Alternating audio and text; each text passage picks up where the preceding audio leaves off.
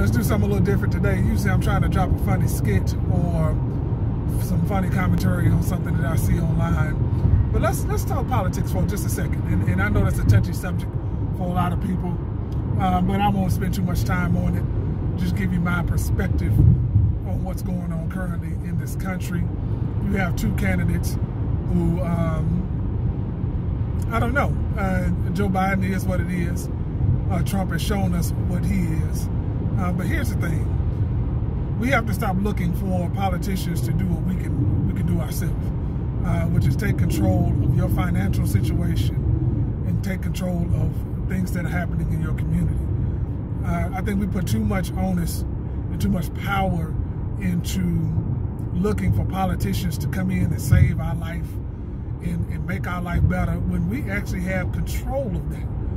And once we start figuring out that we actually have control of that, then maybe we can make some changes for ourselves that benefit us that have nothing to do with worrying and waiting on a politician to help us.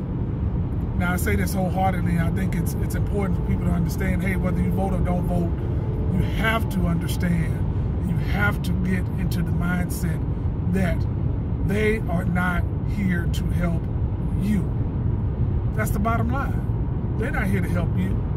They're here to get in office so that they can keep collecting like the rest of the top, what is it, 10% in this country do.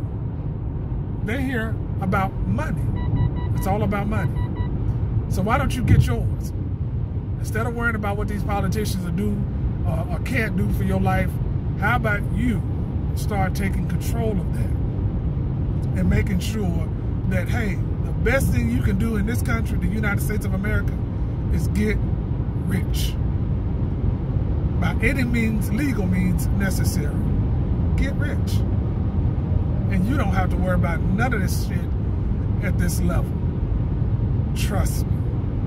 I'm not rich. I'm working extremely hard on getting there because I want that financial comfort of not having to worry about somebody else doing something for me that's above me. So that's my take on it. It's a lot of people uh, encouraging people, obviously, to vote. You do what's best for you. Uh, I'm not saying either way.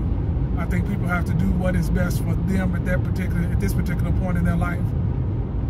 But do that with the understanding that you are still going to be ultimately in charge of how your life ends up in the end.